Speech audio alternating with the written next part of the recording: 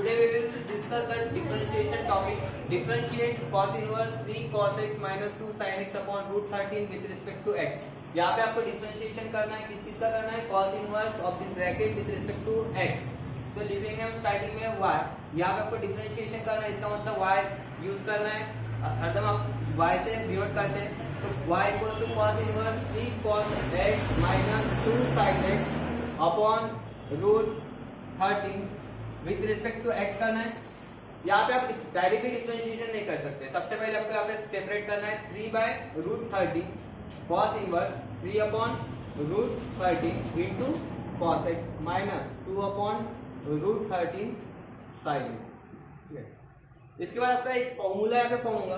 बाहर है cos inverse आपको यहाँ पे एक तो फॉर्मूला साइन का फॉर्म करना पड़ेगा, या कॉस का फॉर्म करना पड़ेगा।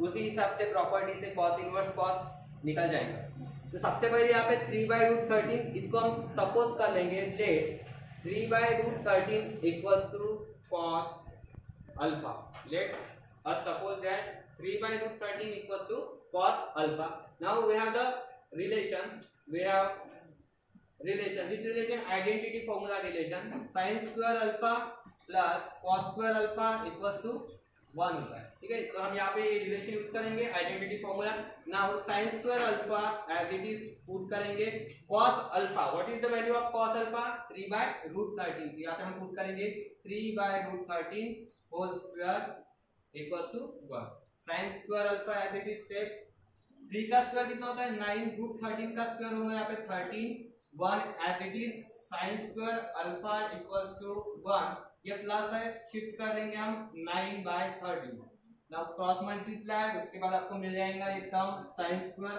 alpha equals to thirty minus nine four four upon thirty taking square root sine alpha equals to two by root thirty तो आपको यहाँ पे क्लियरली मिल रहा है sine alpha is equal to two by root thirty and cos alpha equal to three by root thirty now this both the values we have to put in this equation y equals to cos inverse Now, what is the value of 3 by root 13? 3 by root 13. 3 by root 13 is equals to cos alpha. तो यहाँ पे आपको put करना है cos of alpha into cos of x minus 2 by root 13 sin of alpha into sin of x. ठीक है? यहाँ पे cos inverse of cos a, cos b minus sin a, sin b, एक फॉर्मूला फॉर्म होता है।